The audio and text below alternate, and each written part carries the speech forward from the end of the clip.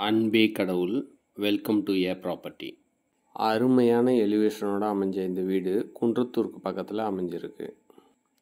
CMDA அப்ரூவ்டோட கட்டப்பட்ட இந்த வீட்டில் பார்க்கிங் வசதி செஞ்சுருக்காங்க. இந்த பார்க்கிங் ஏரியாவோட அளவு பார்த்திங்கன்னா பதினொன்றுக்கு அஞ்சரை என்ற அளவில் அமைஞ்சிருக்கு. பார்க்கிங் டைல்ஸு பதிச்சிருக்காங்க. ரெண்டு பெட்ரூம் கொண்ட இந்த தனி வீடு எழுநூற்றி எண்பது ஸ்கொயர் ஃபீட்டில் கட்டியிருக்காங்க.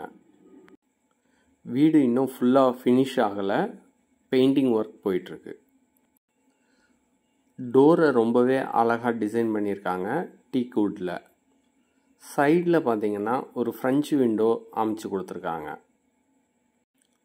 பார்க்கிங் ஏரியாவுக்கு ஆப்போசிட்லேயே ஸ்டேர் கேஸ் அமைச்சிருக்காங்க. ஸ்டேர் கேஸுக்கு கீழே காமன் ரெஸ்ட் ரூம் ஒன்று அமைச்சிருக்காங்க. இதுக்கு வால் டைல்ஸ் ஃபுல்லாக பதிச்சிருக்காங்க. வென்டிலேஷனுக்கு ஒரு விண்டோவும் அமைச்சிருக்காங்க. அடுத்ததாக இந்த வீட்டோட ஹாலை பார்க்க போகிறோம் இந்த ஹாலோட சைஸ் பார்த்திங்கன்னா பதினொன்றுக்கு பத்து என்ற அளவில் அமைச்சிருக்காங்க. லைட்டிங்க்கும் வென்டிலேஷனுக்கும் இங்கே ஒரு விண்டோவும் அமைச்சு கொடுத்துருக்காங்க.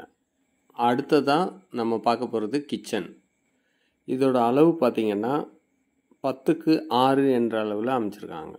சன்லைட்டுக்கும் வென்டிலேஷனுக்கும் ஒரு விண்டோ அமைச்சிருக்காங்க.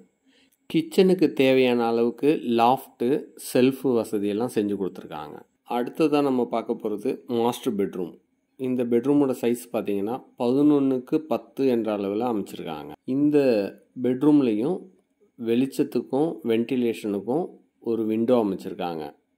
இந்த பெட்ரூமுக்கு அட்டாச்சு ரெஸ்ட் ரூம் வசதியும் செஞ்சுருக்காங்க. இதை வெஸ்டர்ன் டைப்பில் அமைக்கிற மாதிரி செஞ்சுருக்காங்க. அடுத்ததாக நம்ம பார்க்க போகிறது ரெண்டாவது பெட்ரூம் இந்த பெட்ரூமுக்கும் செல்ஃபு லாஃப்ட் வசதியெல்லாம் செஞ்சுருக்காங்க. வென்டிலேஷனுக்கும் வெளிச்சத்துக்கும் ஒரு விண்டோ அமைச்சிருக்காங்க.